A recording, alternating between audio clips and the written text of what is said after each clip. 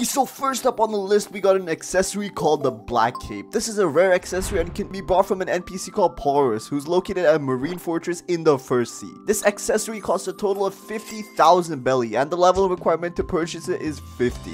And what this cape gives you is a plus 100 energy, plus 100 health, and plus 5% damage. Overall, a kinda decent accessory if you are a beginner, but you should probably switch to a different accessory as soon as possible because this is the first accessory in the whole game. So next on the list, we got the Swordsman hat. The Swordsman hat is a rare accessory and can be bought from an NPC called Hassan who's located at the desert in the First Sea costs a total of 150,000 belly and you need to have at least 300 stat points in your sword to buy it. Along with the flash step ability, air jump, and aura, which all you can buy from the ability teacher on the snow island. It gives you a simple plus 10% sword damage and for first sea users this is going to come in handy a butt ton. It's more of a beginner accessory that you want to buy only in the first sea if you're a sword main to start off with. If you are a fruit main then there's not really a point in buying this. Overall a kinda decent accessory but you want to move on to the next one as soon as possible. Next up on the list we got the pink coat accessory. What this accessory gives you is plus 200 health, plus 10% gun damage, and has a 5 to 10% chance of being dropped from the boss after you kill him. The Don Swan boss spawns every 30 minutes in the large building in the middle of the prison, so if you want to grind him, you know where he's at now. Overall, this accessory is pretty good for gun mains, and it has pretty decent health boost for the first sea. Next on the list, we got an accessory called the Tomoe Ring. It can be bought from an NPC called Yoshi, who's located at the second island of Skylands, and this place is where the Sky Warriors spawn costs a total of 500,000 belly and it requires the user to have at least 200 melee stats before you're able to purchase it. So what this accessory does is it buffs your Bloxfruit damage by a whole 10%. And if you start off with a really good Bloxfruit, then this accessory is gonna come in real handy. Next up on the list, we got the Coat accessory. This is a rare accessory and can be obtained with a 10% chance after defeating the Vice Admiral boss, who's located at Marine Fortress in the Big Tower. So what this coat gives you is plus 200 energy and plus 10% melee damage. And the pretty cool thing about this coat is it actually changes depending on whether you're a pirate or a marine. If you're a pirate, then you get a huge white beard skull, and if you are a Marine, you get a huge Marine logo on the back of the coat. And this accessory is really good for low level players, but I don't really recommend grinding it because it only has a 10% drop chance. And another thing that's actually not known about this coat is it actually grants the user 50% more height when using the air jump ability. And this can come in real handy when you're trying to get to higher places. Overall, a really solid accessory for the first sea. Next on the list, we got the Cool Shades accessory. This is a rare accessory and can be obtained with a 1 to 2% chance after defeating the cyborg boss who's located at the Fountain City in the first sea. And this accessory, in my opinion, is one of the most badass looking accessories in the game, and its stats definitely complement it. It gives you plus 100 energy, plus 100 health, plus 7.5% overall damage, and plus 17.5% overall movement speed buff and it looks super badass. I mean, they're literally sunglasses. Who doesn't like sunglasses? And the good thing about this accessory is that it's really good and goes well with any build. So you can be a sword main, gun main, or a fruit main. And it works well because it buffs your overall damage, not just from one category. But the cons are that it has low health and energy boost and it's kind of difficult to obtain. But for getting it in the first sea, honestly, I'm not complaining. Next up on the list, we got Usopp's hat. Usopp's hat is a rare accessory and you can get it by defeating three players who are similar level to you. But you have to be a pirate that has at least over 250,000 bounty. And that's kind of hard to get if you're in the first sea. And what this hat gives you is a plus 7.5% damage when you're using guns. And a 15% attack cooldown reduction for all guns. Which means you can use all of your gun abilities 15% faster. But keep in mind it's only good for low level gun users. And good for newer players who don't have a lot of accessories. Bad thing about this hat, it's not really suited towards Bloxfruits or swords. And it's kind of a really bad accessory if you're a more experienced player with more accessories to choose from.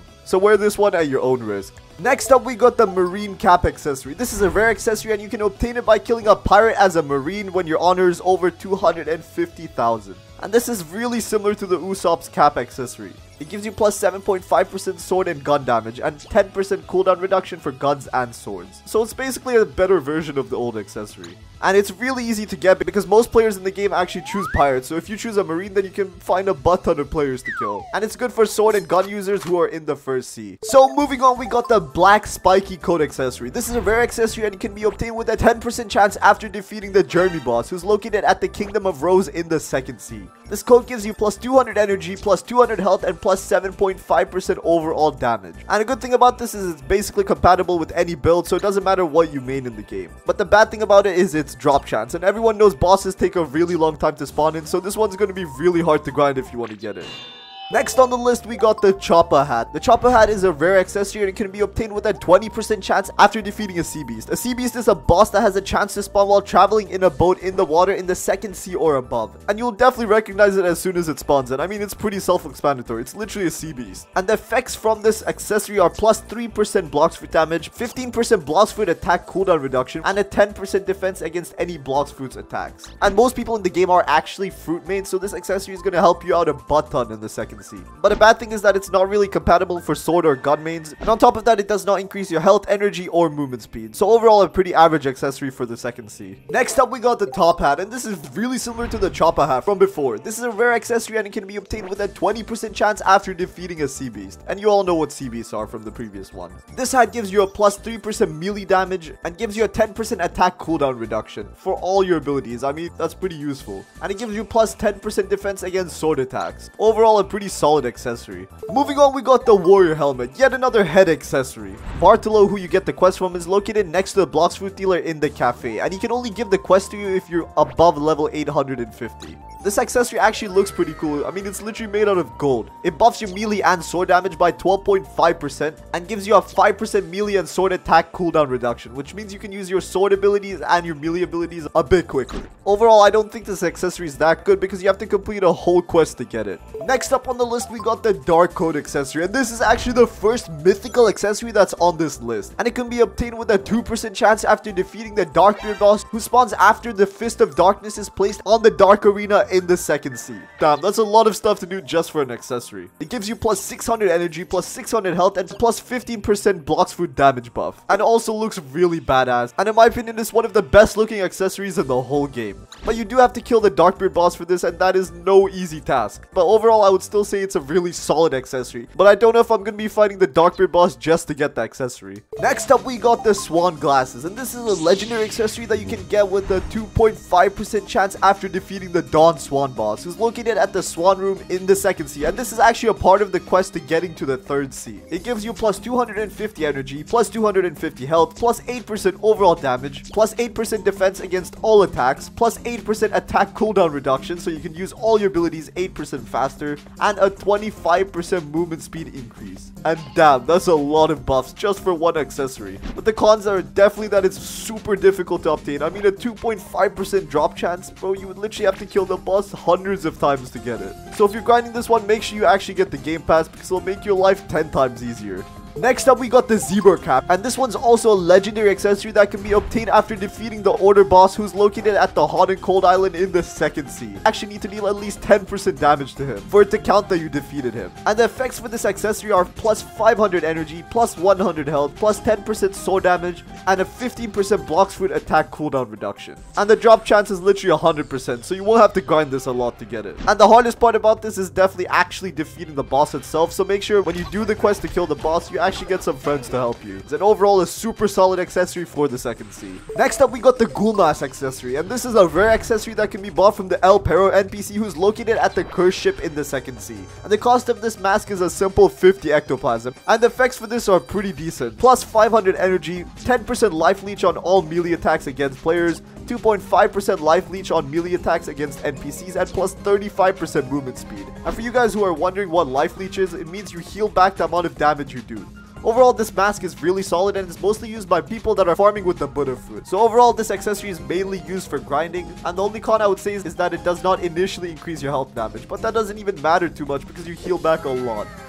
Alrighty, moving on, we got the blue spiky coat. It's a rare accessory that can be obtained with a chance after defeating the cursed captain boss, who has a 1 out of 3 chance of spawning every night on the cursed ship, which is located in the second sea. This accessory grants the user 500 extra energy, plus 250 health, and plus 7.5% overall damage. But you only have a 1.5% chance of getting it dropped from the cursed captain, so you're gonna have to grind this guy a lot if you want to get it. Okay, so the next one on this list is called the red spiky coat, and the way you get it is exactly the same from the cursed captain boss. This one gives you plus 250 energy, plus 500 health, and plus 7.5% damage. But this one actually has a 2.5% drop chance, so it's slightly easier to get than the one before. So next on the list, we got the Valkyrie helmet. It's a legendary accessory that you can get after defeating the Rip Indra boss by dealing at least 10% 15% damage to it. It gives you 600 extra energy, 600 extra health, and plus 15% sword damage. And you have a 100% chance of getting it after defeating the boss, so you don't need to grind that much to get it. But the boss is really difficult to defeat, literally the hardest boss in the game. So moving on, we got the bandana, and this bandana actually has three different forms. There's a red, green, and black bandana, and they give you the exact same stats. You can obtain it with a chance after defeating the elite pirate. This accessory gives you a total of 750 energy, plus 10% melee sword and gun damage, and a plus 80% movement speed. You literally become the Flash. And that's the main use for this. If you just want to get faster, and this is definitely the accessory that you want to look for. It's literally one of the best for speed in the whole game.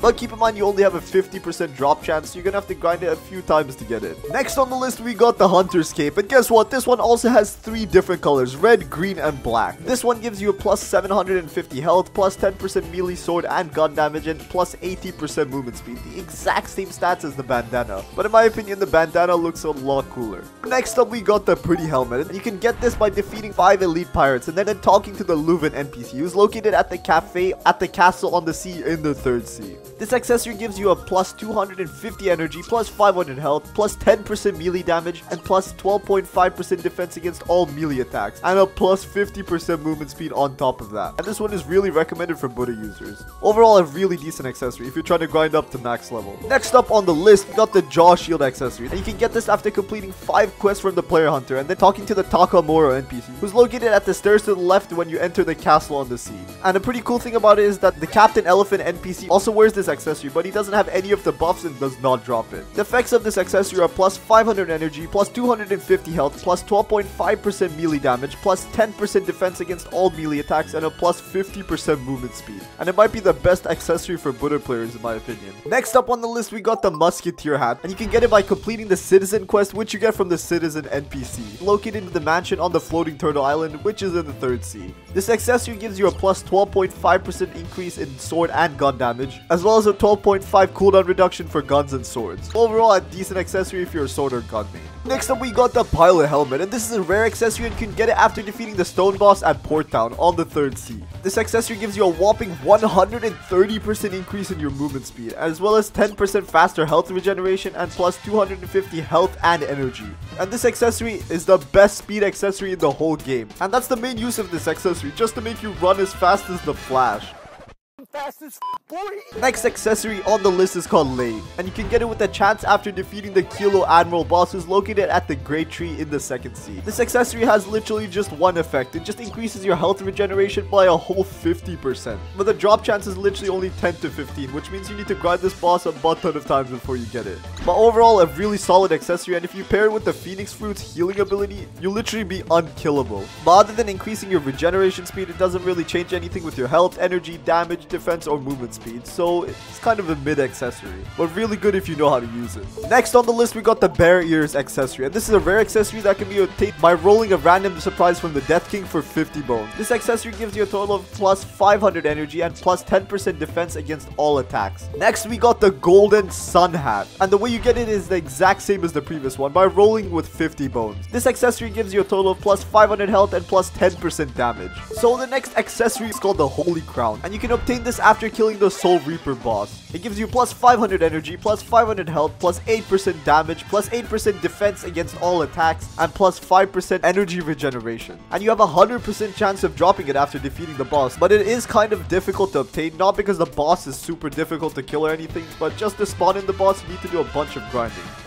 Moving on, we got one of my favorite accessories, the Pale Scarf. You can get it by defeating the Cake Prince or the Dough King. And both of these bosses are incredibly difficult to spawn in, so you're gonna have to do a lot of grinding to even fight them. It gives you a plus 15% blast foot and sword damage increase, and it gives you two whole extra observation dodges. And next one is the best part. It increases your observation Haki's range by 10 times, which means you can literally see 10 times further than you would normally be able to see.